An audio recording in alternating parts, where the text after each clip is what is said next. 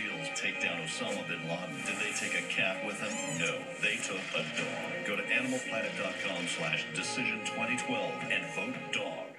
Saturday.